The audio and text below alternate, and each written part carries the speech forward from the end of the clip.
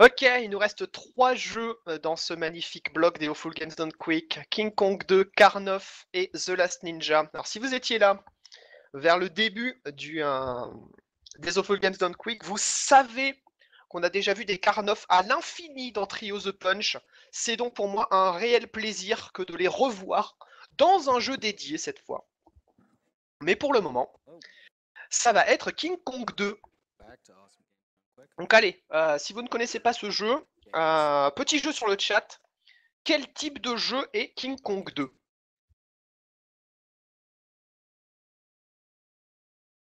Voilà, si on vous demande de faire un jeu euh, vidéo basé sur King Kong 2, qu'est-ce que vous allez faire comme jeu?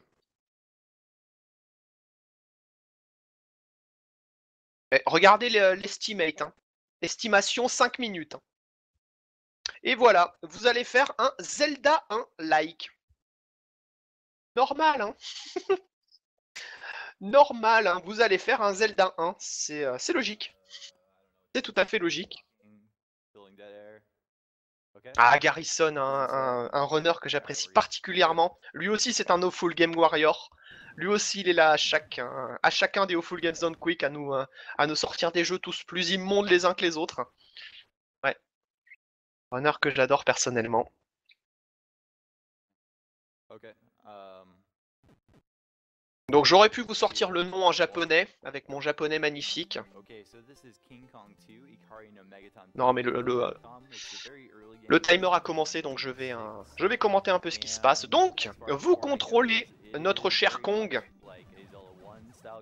Euh, après les événements donc de, de King Kong, vous êtes, euh, vous êtes en amour, hein, vous, êtes en, euh, vous êtes globalement en couple et heureux de l'être avec votre euh, chère demoiselle Kong.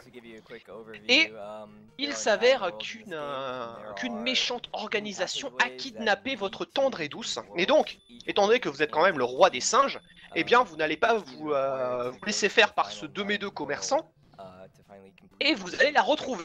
Bordel. Et donc pour cela, vous vous retrouvez dans ce jeu qui est un, bah, comme vous le voyez, hein, c'est un Zelda-like, tout bêtement. Et euh, ce qu'il faut savoir, c'est que ce jeu, normalement, la façon dont vous êtes censé le jouer, c'est que vous avez 8 donjons disséminés à travers le monde. Parmi, euh, il y, a, y a 9 mondes différents, 8 donjons plus le donjon de fin. Et donc, dans chaque donjon, vous allez trouver une clé. Et une fois que vous aurez récupéré les 8 clés présentes dans le jeu, vous pourrez ouvrir la dernière porte présente dans le dernier donjon. Mais il s'avère que il existe un bug dans ce, dans, ce, dans ce jeu qui est extrêmement facile d'ailleurs à mettre en œuvre, qui vous permet de passer cette porte sans avoir accès à aucune clé. Ce qui explique pourquoi ce jeu se termine en environ 3 minutes et demie. Donc notre but au début, c'est de récupérer tout un tas de petits bonus qui sont euh, disséminés euh, à l'extérieur. Donc euh, quand je dis à l'extérieur, c'est pas dans des donjons. Et donc ces bonus, il y a trois bonus de vitesse qui vont augmenter la, la vitesse de déplacement de, euh, de Kong. Vous avez 7 upgrades de, euh, de puissance de votre arme spéciale. Votre arme spéciale, en fait, c'est un lancer de rochers. Et le nombre de rochers que vous pouvez porter, c'est le nombre qui est écrit en bas à, à- à gauche, en fait. Là, pour le moment, on en a 30. Et on va aussi récolter deux upgrades du, euh, du nombre de, de rochers qu'on peut, qu'on peut porter pour passer de 20 à 40. Et une fois qu'on est équipé de cette façon, qu'on a la vitesse au maximum, les dégâts au maximum de nos rochers et 40 rochers, on va se diriger nonchalamment vers le dernier donjon. Voici le dernier donjon, et oui déjà.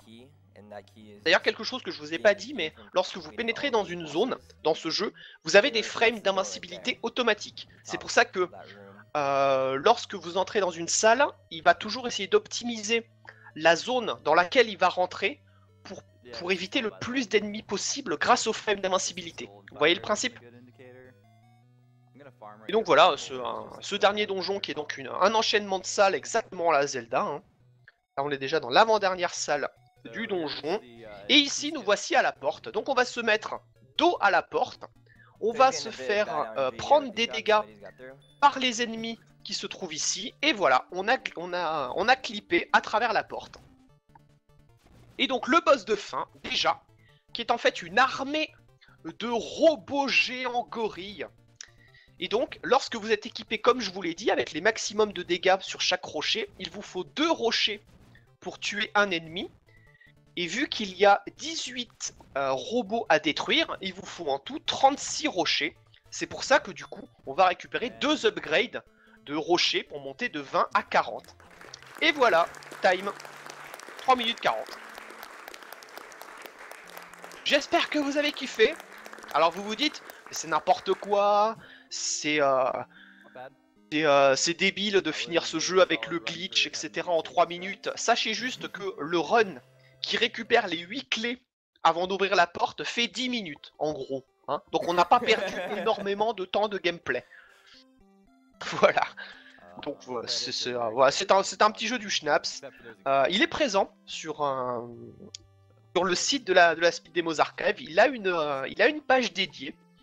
Et donc sur cette page, vous avez les deux runs. Vous avez le run Any% qu'on vient de voir là, qui va consister à glitcher le Kong à travers la porte. Et vous avez l'autre run qui lui consiste à aller chercher les 8 clés d'abord et à ouvrir le donjon de façon normale. Voilà.